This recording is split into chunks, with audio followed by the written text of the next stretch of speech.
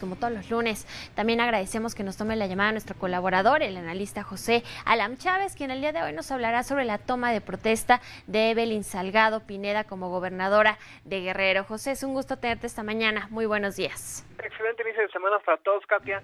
Pues el viernes pasado rindió protesta Evelyn Salgado Pineda como nueva gobernadora de Guerrero y con ello se convirtió en la primera mujer que ocupará este cargo en una entidad de contratos sociales con muchos conflictos y donde, a decir del presidente de la República, Andrés Manuel López Obrador, había un buen gobierno, refiriéndonos al mandatario saliente Héctor Astudillo Flores.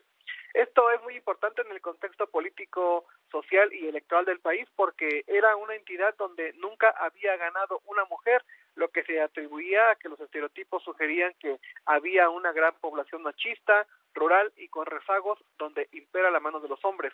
Claro, hay sectores que atribuyen el resultado electoral de Guerrero a dos elementos.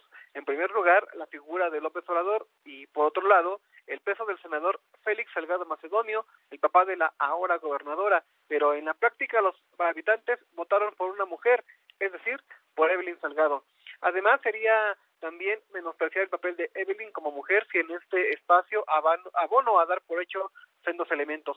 Por eso, al inicio señalo que lo ocurrido en aquella entidad vecina del Estado de México se debe analizar con mucho detenimiento porque aun si escucháramos a quienes invocan las características que ya se descalificaron en este análisis, tendríamos que para las siguientes elecciones también es posible entonces que cualquier mujer ganará gubernaturas por el simple hecho de llevar consigo la marca López Obrador o un antecedente familiar. Ahora bien, si como dice el presidente de México, el priista Héctor Astudillo hizo un buen gobierno, porque entonces, ¿por qué entonces no se garantizó la permanencia del PRI en el Ejecutivo?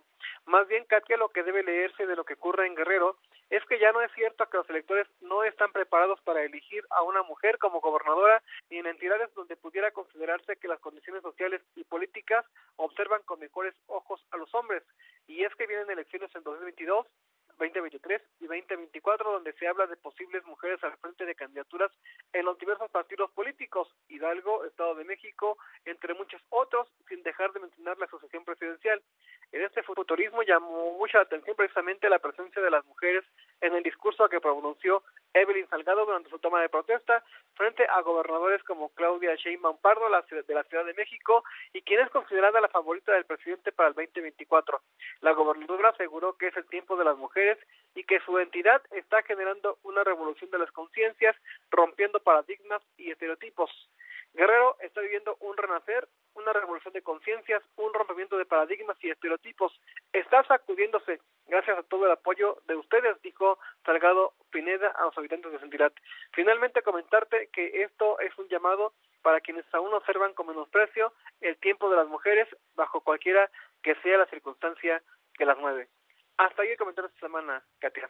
Te agradezco muchísimo, José Alam. Déjanos tus redes sociales para leerte a fondo. Claro, los invito a que me sigan en Twitter como arroba José Alam, en Instagram como José Alam Che y en Facebook como José Alam Che de Jacobo y Callejón Informativo. Pues te agradezco mucho que tengas una excelente semana y hasta el próximo lunes. Semana para todos.